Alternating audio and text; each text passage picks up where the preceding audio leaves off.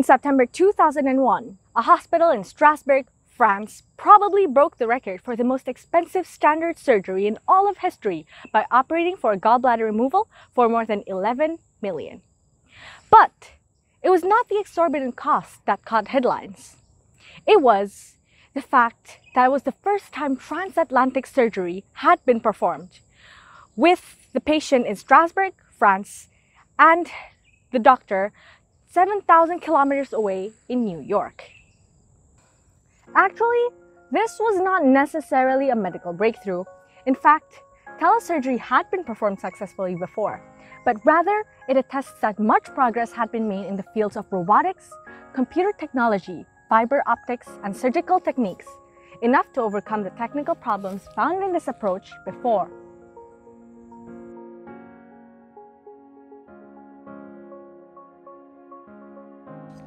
Now, we all know surgery, at least the traditional type.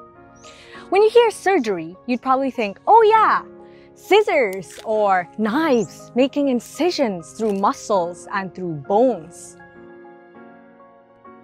But over time, and especially over the rapidly growing digital era, newer techniques developed as newer alternatives. For example, minimally invasive surgery. The surgeon would make small incisions to insert surgical instruments, which may include high-tech cameras. Telesurgery is one form of minimally invasive surgery. Telesurgery involves the use of robotic arms which operate unique, small tools that can physically interact with the patient, while the surgeon can also control it from a different location.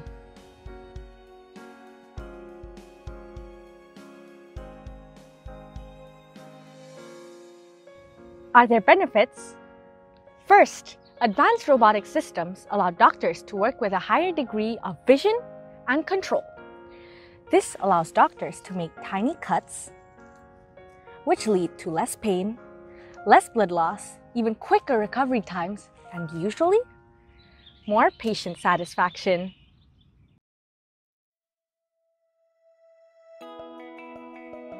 Now that you know what telesurgery is about and its benefits, you're probably wondering how does it work? So here's a framework of a telesurgery operation. There are two surgeons or surgical teams uh, which use devices like computers, laptops, or iPads to collaborate over the procedure over distance. And here's the hospital room with the patient, and here's a remote workstation somewhere else that uses real-time 3D imaging to allow the surgeon to look into the patient's body. The surgeon would then control the robotic arms at the bedside of the patient using hand and voice controls. And of course, these are all connected wirelessly by internet or any other types of data transmission through fiber optics. But let's take a look at the robotic arms in more detail. So here, I've actually created a super simplified model of the robotic arm used to operate on the patient. I call it a wireless and synchronous humanoid bionic arm constructed mainly through Arduino. The finger and hand motion of the operator's hand would be accurately replicated onto the humanoid arm. So like this.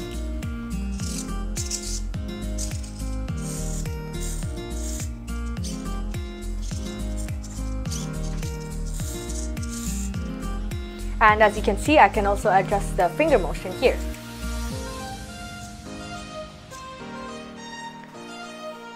Now, if we take this a step further,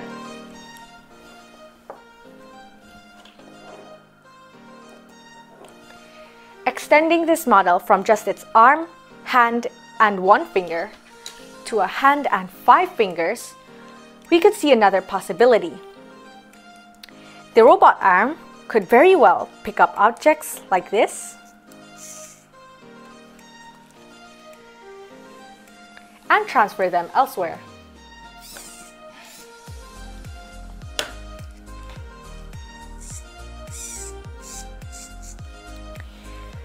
Linking this back to telesurgery, the robot arm would be built with such a high degree of maneuver, with precise control over its every movement, so that it could even hold surgical tools and endoscopes or basically tiny cameras, itself. Now in my case, for example, there are four potentiometers, first, second, third, and fourth here, which act as the joints of the operator's arm. And in the robot arm, there are four servos, first, second, third, and fourth, which would rotate the word blocks according to the degree of motion that the operator makes. This blue part is the Arduino Nano, which acts like the brain and receives the program I've uploaded from the computer. This white part, this white part is the breadboard, which contains lots of wires as you can see to connect the circuit. Now we've got an understanding of the framework, but an arm that cannot move would still be useless. So let's take a look at the program which allows it to move. We start by defining the variables which store the ports of the four potentiometers in the operator's arm. And then we declare the four servos in the humanoid arm. Um, these values here will be used later as the angles for the servos.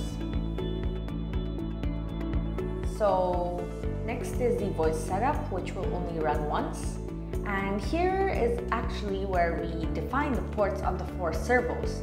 See here, we actually only declared the variables, but we didn't set these values yet.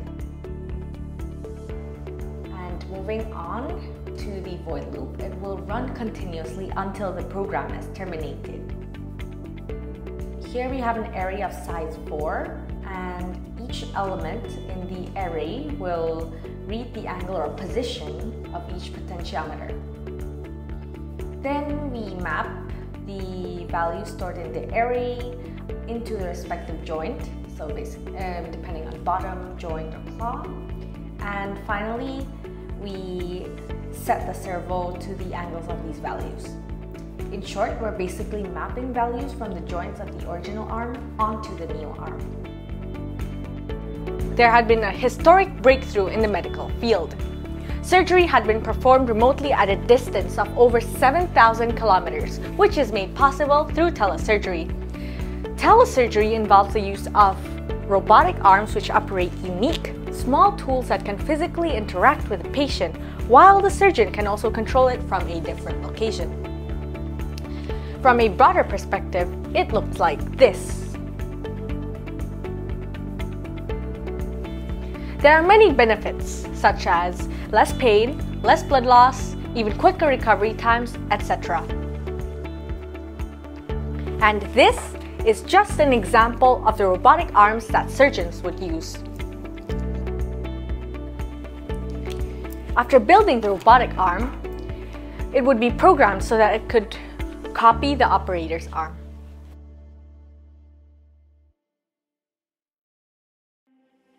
Although still in its early stages, telesurgery has been used in hospitals that lack a specialist to perform complex operations.